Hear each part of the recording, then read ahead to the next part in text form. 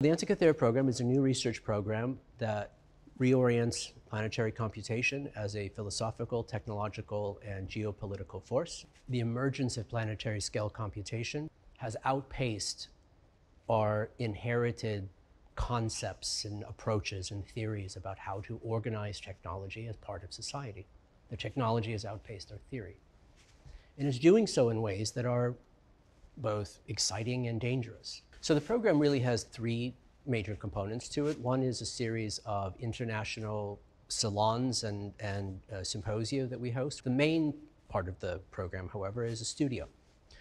One of the ways in which we try to approach this question is, is think of philosophy as a way of doing design and design as a way of doing philosophy. And so for a period of five months, from February to next June, we will work together developing new ideas, new projects in the form of cinema, in the form of software, in the form of text, in the forms of platforms, in the forms of in the form of policy, uh, into projects that will stir debate, that we will want to develop, uh, and we will want to uh, use as a way of, of un both understanding uh, the present predicament and uh, hopefully changing it.